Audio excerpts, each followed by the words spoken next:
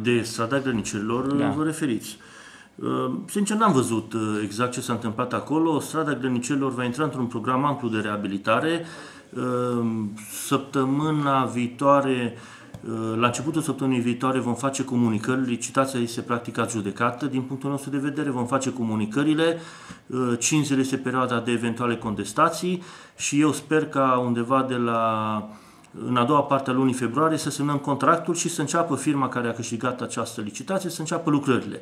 Ei bine, din acest motiv și ținând cont de faptul că acolo avem în general beton și cum nu putem lucra cu asfalt cald acum, Uh, am încercat gropile foarte mari să le acoperim cu uh, niște frezat. Ăsta uh, este un material rezultat din frezarea în vară a străzilor unde am făcut lucrări de reparații. Uh, sigur că acel material nu poate, este un material gratuit, uh, uh, nu, nu costă nimic administrația locală această lucrare, el nu va ține la nesfârșit, dar va ține încă o săptămână, două săptămâni, o lună de zile, în funcție și de temperaturile și de dacă avem sau nu precipitații afară, astfel încât cei care circulă pe acolo să nu provoace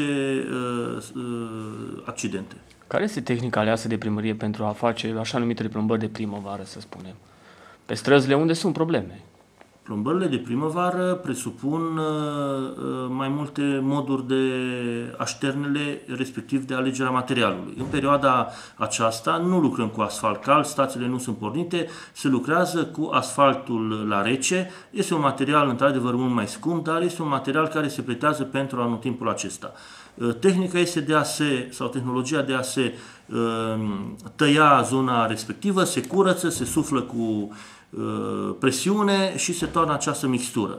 Mai avem situații în care uh, pe străzi mai secundare nu am folosit acest material, care spuneam că este mai scump, și am pus piatră spartă, pe care am compactat-o, am cilindrat-o, am lăsat-o la nivelul asfaltului, urmând ca în primăvară să uh, refacem zona respectivă cu asfaltul cald și, hai să spunem, această soluție de tranzit pe care am folosit-o doar pe strada grănicelor.